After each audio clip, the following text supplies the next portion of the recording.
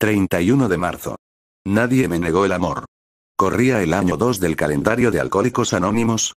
En uno de esos grupos apareció un recién llegado. Pronto demostró que el suyo era un caso desesperado, y que solo ansiaba recuperarse. Dijo él. Siendo así, que soy también víctima de una adicción, aún más despreciada que el alcoholismo, puede ser que ustedes no me quieran en su grupo.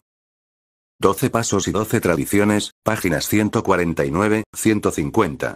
Acudí a ustedes como una esposa, una madre, una mujer que había abandonado a su esposo, a sus hijos, a su familia.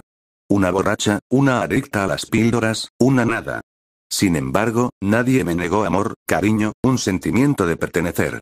Hoy por la gracia de Dios, y el amor de una buena madrina y un grupo base, puedo decir, que por medio de ustedes en Alcohólicos Anónimos, yo soy una esposa, una madre, una abuela y una mujer.